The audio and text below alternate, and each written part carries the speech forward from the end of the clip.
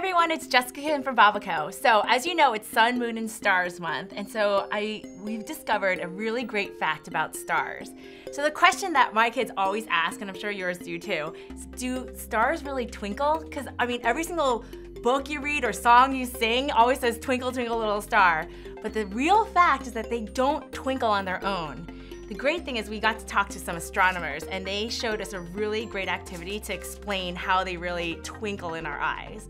So what happens is stars really just illuminate this really bright light. And then as it goes through the atmosphere and the different layers, the light reflects and as it goes through, to us, it looks like it's twinkling.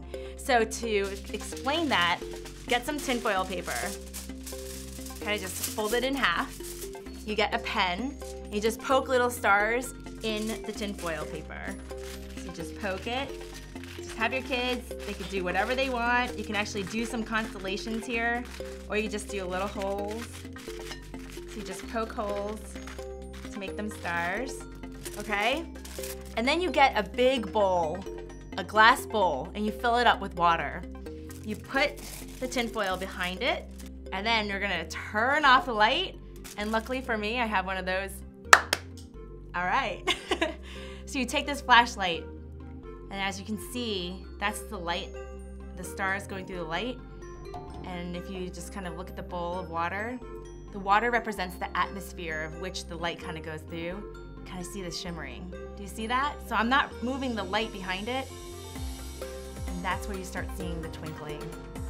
So that is what makes the stars look like they're really twinkling and they're actually just illuminating this beautiful light, and as it goes through, it twinkles.